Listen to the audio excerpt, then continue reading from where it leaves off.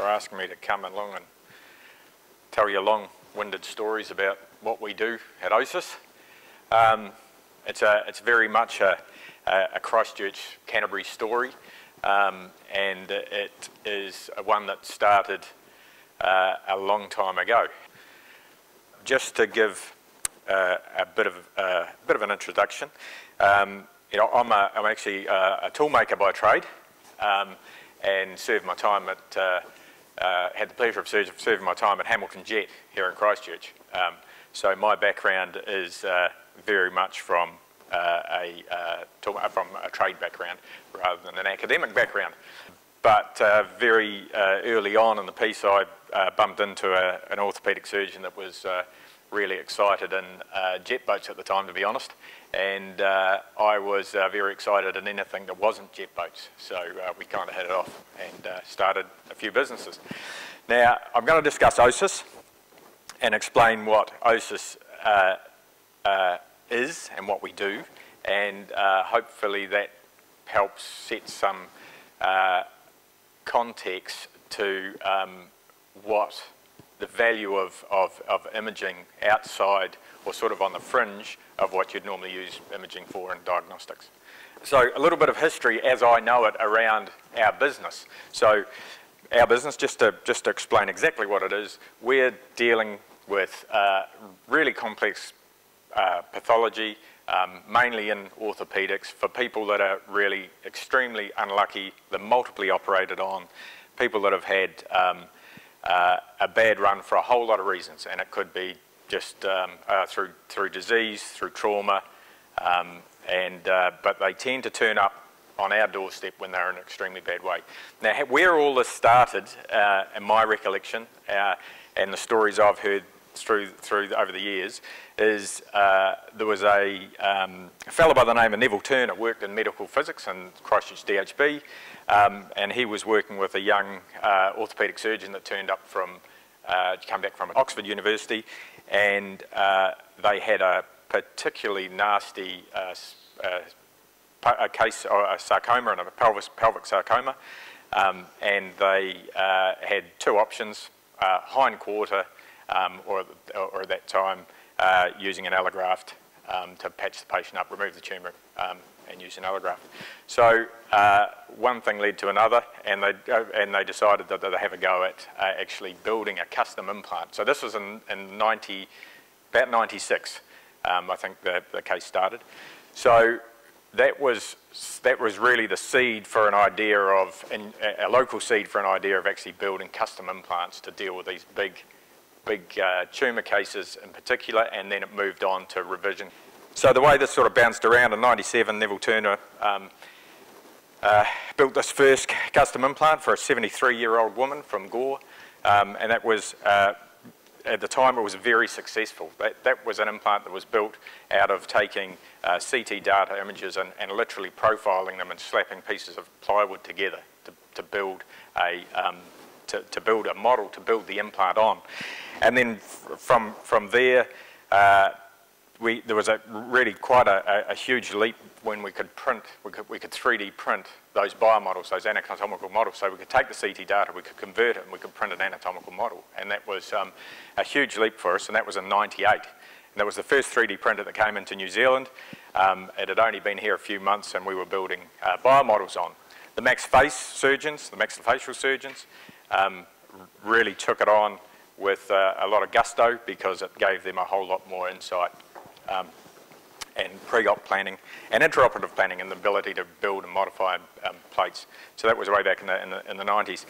Then very soon after, we were able to take that CT data and bring it into a CAD system, and that allowed us to be to, to allowed us to machine implants. So we would take a big lump of titanium or stainless steel, and we could machine the implants. So we're whittling them down out of a, a lump of steel. Slow process, but it still gave us the ability to create a form that fitted our patient. Um, and then uh, pretty soon after that, uh, we started getting approached uh, by some, uh, we had cases turning up that were involving, more and more involving tumours. And that was something that was really hard for us to understand because not having a medical background, we knew there was something that we couldn't do ourselves was define tumour margin. Um, we had a workshop full of engineers. They weren't medically trained. So we enlisted a company over, out of the States, um, Medical Modelling, and they demonstrated a, a technique of uh, registering CT and MR, and that gave, gave us a better understanding of where these margins, these tumour margins were. And at the end of the day, we still never diagnose, um, and even today we don't diagnose tumour margin. Um, all we do is, is uh, pull the data together so that we understand what's given to us from our clinicians and then we apply it um, rather than doing it ourselves. So, so there we get to where we are um, today and uh, we process, uh, we do about 100 odd cases a year um, where we're dealing with uh, revision patients, so processing data sets. We're about 100 data sets that we process each, each year. And this is traditional data. This is um, generally X-ray, CT, and uh, MRI. So, as I sort of mentioned before, our patients are the hard patients. They're the multiply operated on. Um, these patients uh, have uh, turned up and they will have had, uh, when I say multiple, 10 or a dozen or more surgeries trying to rectify, trying to get some stability back into a joint, whether it be a knee or a hip. They've got massive bone loss um, and they really are in a bad way. The added complication around all of this is that these patients are scarred up.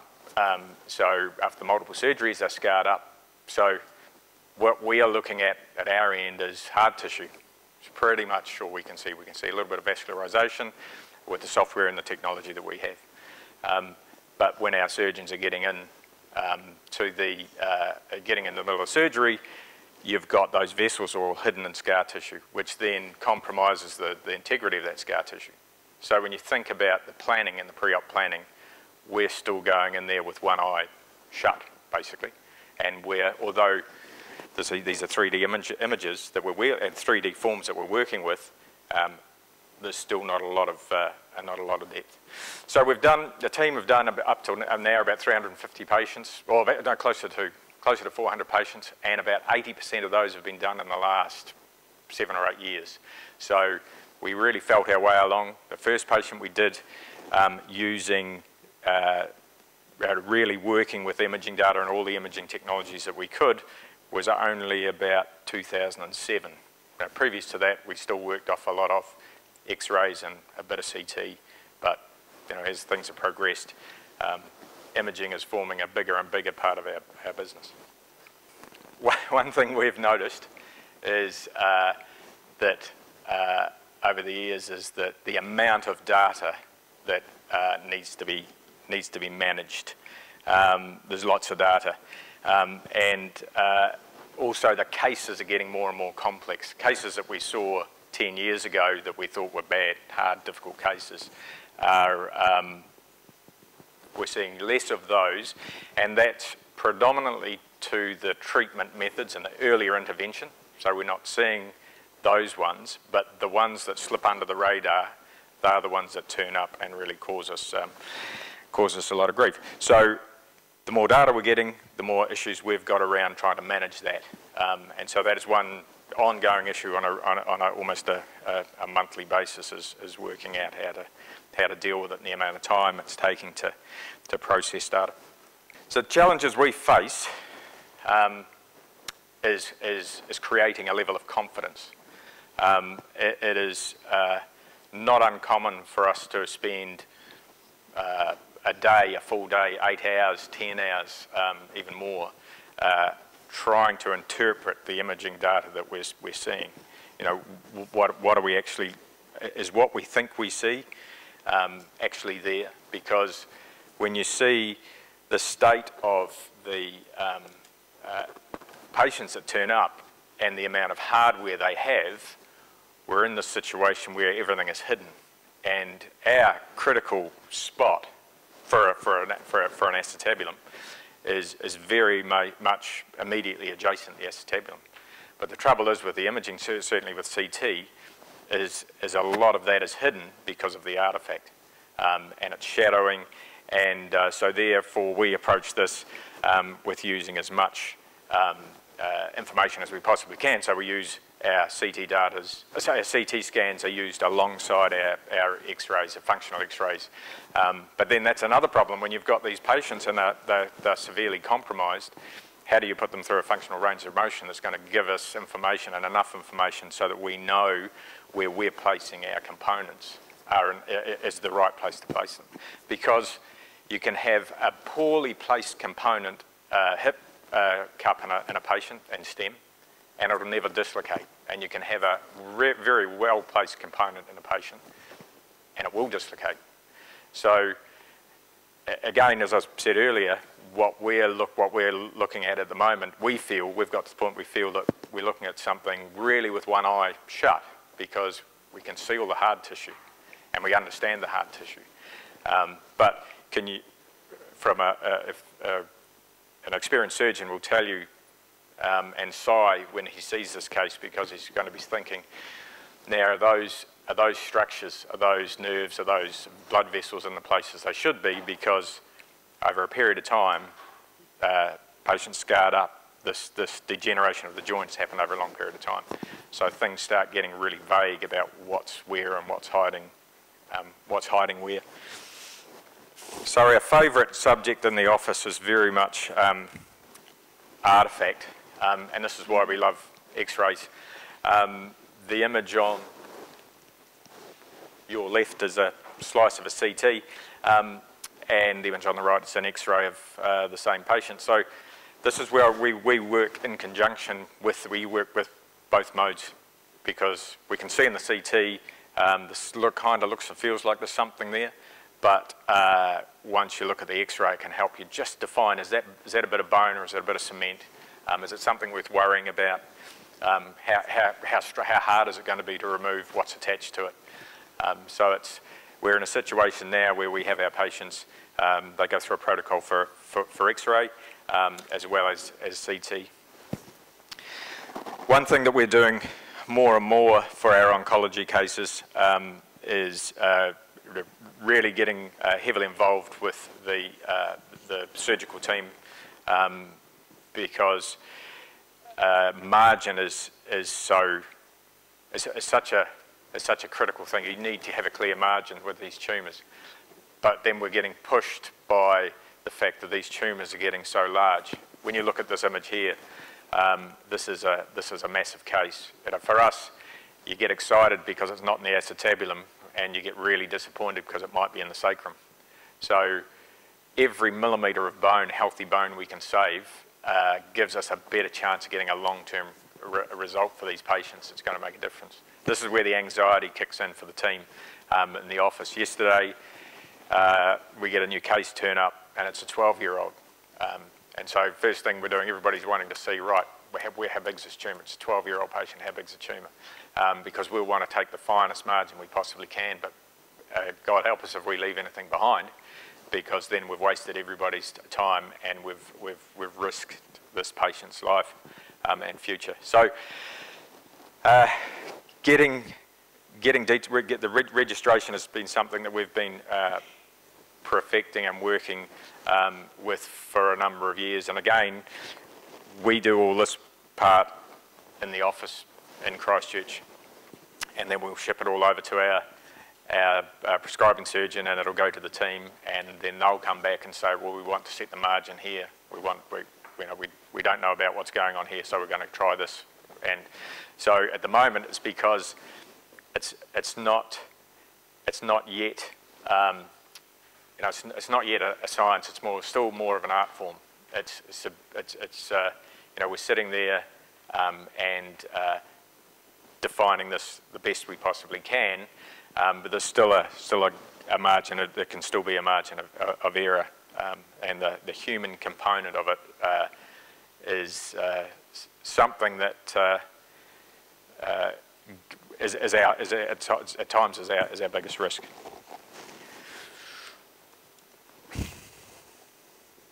So the outputs we get from imaging um, really are the foundation for everything we do.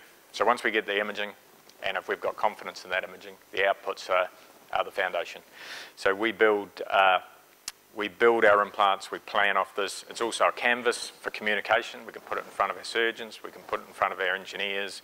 Um, it, it is, and we put we use it to we put it in front of our funders to try and get them to understand. Well, you know, this is what we're dealing with. What's the option? Because we produce a product that is extremely expensive in comparison with a primary hip replacement. It's a multiple times more expensive. So funders, as you can imagine, um, certainly the uh, private uh, funders get a little bit excited when you turn up with a, with a joint replacement for a patient of theirs that's three times the price of uh, a primary joint. So it's, uh, it's uh, used uh, all over and, it has huge value in multi multiple parts of the, of, of, of, the business. So therefore the accuracy um, of that um, you can see makes a, makes a huge difference because um, the, uh, once we get into a procedure, there's no going back. So once we're committed, there's no going back. So, so getting, getting more, understanding more um, early on is, uh, is, of, uh, is of huge value to us. So we get really excited when we deal and talk with the Mars guys, and we call them the Mars guys, and their name gets bandied around our office all the time. Um, and also one or two of the clinicians that we're working with, um, sarcoma surgeons um, over in Australia, um, we've introduced to Anthony and Phil, and uh, they are extremely excited about what this may offer. Um, as Anthony mentioned, this uh, technology, uh, and we are looking at it, as Anthony mentioned, that it's a cross between MR and CT. Um, we've done some studies with, with, uh, with Mars, and uh, so far what we have seen we're finding exceptionally exciting. And we see it as it's a, it's a, it's a it really adds value to what we do, um, and that's being rather, rather self-centered um, on what we do in a lot of areas. It gives us a better understanding on how our implants are performing. Now we're, we're making implants and we've got a goal to make implants lasting to last 30 years. The longest implant we've got in um, is 14 years, so we've got a wee way to go. But it'd be good to know what's happening in behind those implants. You know, we have we have a real focus on mechanical matching, trying to mechanically match the implant to the bone so it really it, it drives osseointegration, it drives stability because it's mechanically matched. It's not too stiff, it's not too, not, not too soft. It's not going to fatigue and fracture, but it's not going to hammer its way through and end up in a blooming kidney. Sometimes implants tend to go that way. Um, the, uh, the, the, the, the ideal is to get something that is stimulating that bone growth, is stimulating that bone remodeling. And we think that, that what we've seen so far with Mars uh, technology, it has, it has so many applications. Um, and uh, we're extremely excited to see where it goes. So uh, for us, you where, do, where do we go from here? Because what I'm trying to paint a picture of is, is, is what we see our business and the way we operate right now is quite, uh, is, uh, is almost quite archaic. We're still uh, doing our best, looking at an image with, with, and being able to glean uh, a certain amount of information out of those, uh, the, the, imaging and the data that's sent to us, but uh, there's a whole lot more hidden in there. And we get, again, get ex ex exceptionally excited um, we're really excited about the, the, the um, Mars Tech because it's going to give us a lot more. You know, we can, we can understand what bone health is doing. We can understand where the, the, the, the strong bone is and where the rubbish is because sometimes, and a lot of times, we get excited about thinking we've got a, got a good solid piece of bone um, and it's not, or vice, worst cases vice versa when um, uh, we think we've got, uh, we think we've got um, we've got it all dialed in and it's, and it's the opposite and we've got a loose implant after um, a short period of time. So everything is moving through forward to, everything is moving towards accuracy. Uh, I mentioned before about the uh, margins. We started off uh, dealing with margins of two centimetres around a tumour, um, two centimetres. Now we're talking to surgeons that are talking about millimetres. Um, and when surgeons start talking about millimetres, you get worried.